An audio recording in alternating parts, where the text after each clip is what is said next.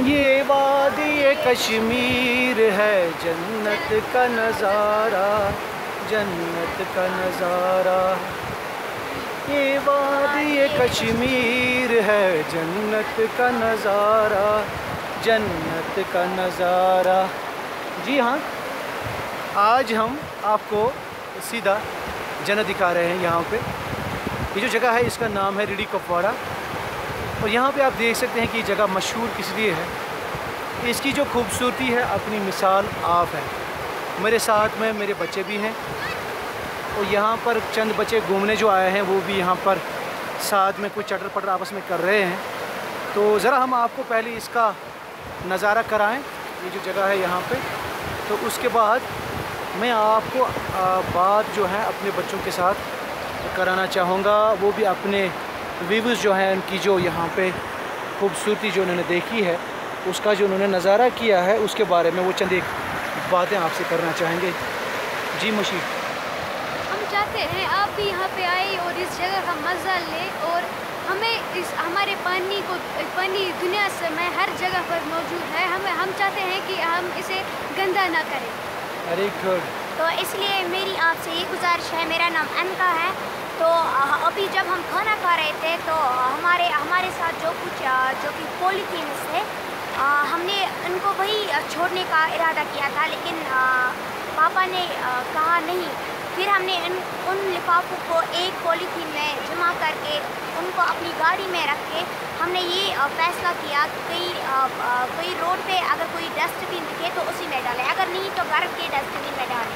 Great great great really really that is 101% true we need to uh, do small things and the day is not so far away when they will grow and it is rightly said in uh, someone has uh, rightly said that great oaks grow from small acorns जो बड़ी बड़ी चीज़ें होती हैं बड़ा बड़ा जो बड़े बड़े बड़े जो काम होते हैं उनको अगर आप करना चाहेंगे तो कहते हैं कि thousand miles journey begin is the single step इससे पहले भी मैं बहुत बार इस पर अपनी राय दे चुका हूँ। एक वीडियो भी मैंने अपलोड किया था। लेकिन आज फिर दिल ने चाहा कि यहाँ पर आकर क्यों ना एक फीदर इसमें ऐड कर लें। एक तो हम इंजॉय कर ही लेते हैं। इन जगहों को अगर हमें साफ़ रखना है पाक रखना है सस्टेनेबल बनाना है अपनी आने वाली पीढ़ियों के लिए रख, मौजूद रखना है बनाए रखना है तो हमें रियल इन्वायरमेंटलिस्ट बनना होगा। हमें इन चीज़ों का ख्याल रखना होगा कि ये जो चीज़ें हैं हमारे लिए जो छोड़ गए हैं जिस तरह से उन्होंने अपने ऊपर काबू रख करके इनको हमारे लिए बचाए रखा। तो क्यों ना हम भी तो क्यों ना हम भी अपना जो हिस्सा है वो निभाएँ और इन चीज़ों को बिल्कुल साफ़ और सुथरा रखें। तो यह आप देख सकते हैं यहाँ पे जो ये पानी बह रहा है, जी नहीं करता कि यहाँ से उठूँ।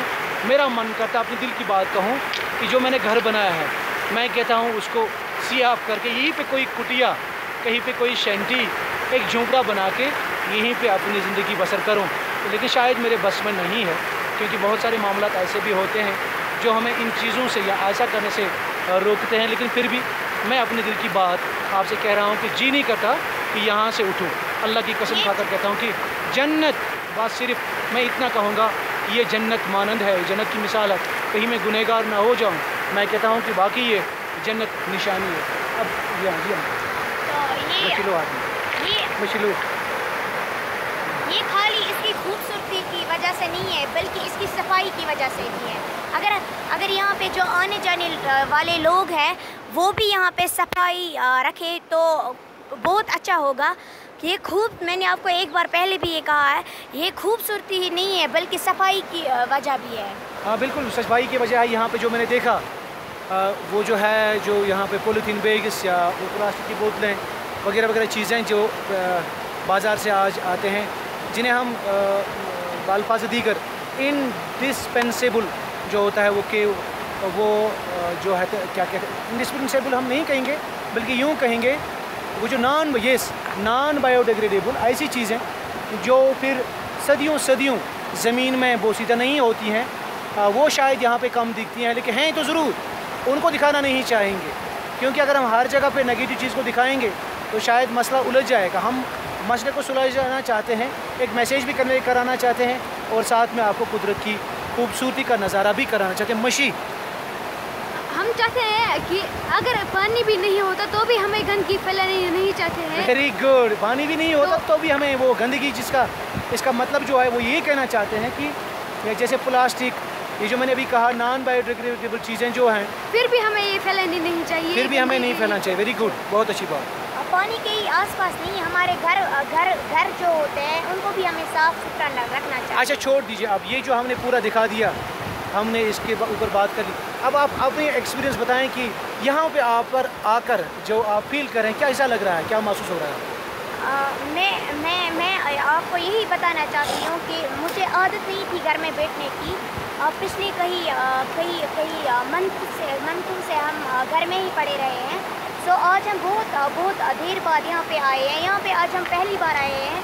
सो so, आज हम अपने पापा के साथ आए बहुत सारा इंजॉय हम यहाँ पे कर रहे हैं। एक बात मैं आपको बीच में काटना चाहूँगा। आप देख सकते हैं कि खुली धूप के नीचे हम यहाँ पे बैठे हुए हैं। लेकिन अल्लाह की कसम खाकर कहता हूँ मैं यहाँ पे सूरज की गर्मी का बिल्कुल भी एहसास नहीं होता। जैसे सूरज निकला ही नहीं है जैसे ये सूरज चांदनी है। और चांदनी रात में हम यहाँ पे बैठे हैं। इस कुदरत के करिश्मे का नज़ारा कर रहे हैं और सूरज हमें राह दिखा रहा है। सूरज हमें इन नज़ारों का जो है नज़ारा करा रहा है। बल्कि इसने अपनी जो गर्मी है, बिल्कुल बंद करके रखी है। ये वजह है, ये जो यहाँ पे पानी है, इसकी जो बू है, इसकी जो ठंडक है, उसकी वजह से हमें यहाँ पे गर्मी का बिल्कुल भी एहसास ही नहीं होता। जी मशी। हम चाहते हैं आप भी यहाँ पे आए। इस इस नज़ारे का मज़ा लें और भाई, हम हम यहाँ पे आए आए पहली बार मैं आया हूँ तो मैं चाहता हूँ कि आप भी यहाँ पे आए और इस नज़ारे का मज़ा लें। आप भी अपने बच्चों को यहाँ पे साथ लेकर आए। यहाँ पे खाली खूबसूरती नहीं बल्कि दिल की शांति भी महसूस होती है। हाँ हा क्या बात कही। क्या बात दिल की शांति मन का सुकून यहाँ पे बिल्कुल। बिल्कुल हर कोई चीज़ दुनिया की इंसान भूल जाता है। मैं आपसे यूँ कहूँ कि मैं क्रिकेट लवर हूँ, क्रिकेट प्लेयर भी हूँ। ज़्यादा नहीं तो कम अज़ ज़्यादा खेल लेता हूँ, लेकिन ये बात मैं ज़रूर कहूँगा कि क्रिकेट को अगर मैं अगर बुरा ना मानो कि जहनम में भी खेलते देखूँगा, लोगों को तो वहाँ पर भी चला जाऊँगा।